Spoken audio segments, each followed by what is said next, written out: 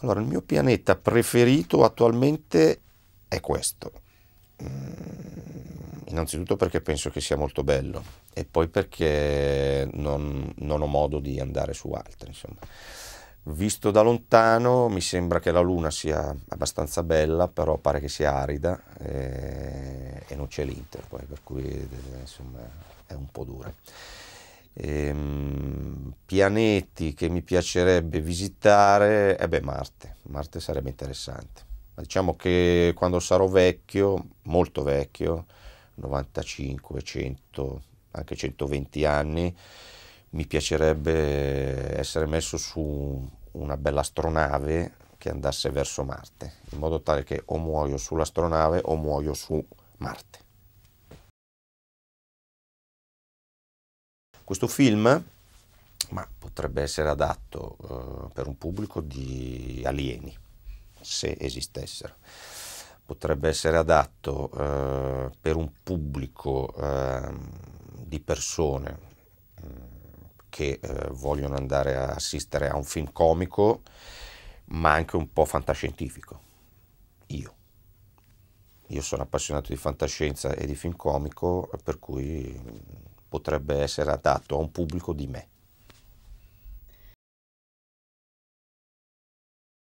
A me, eh, a te e, e a tutti.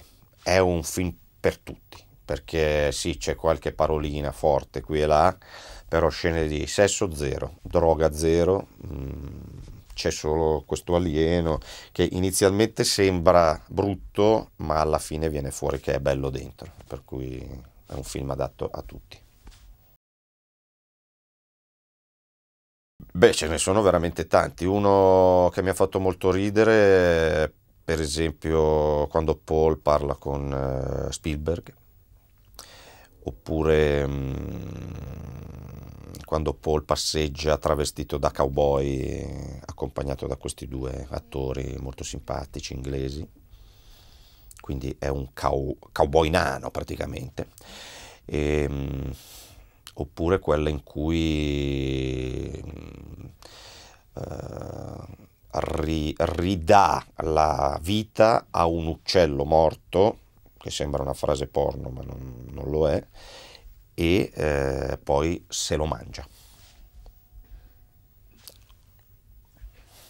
Beh, è una scena particolare, non, non puoi dire che non sia particolare. Uno che si mangia un uccello vivo che era appena morto.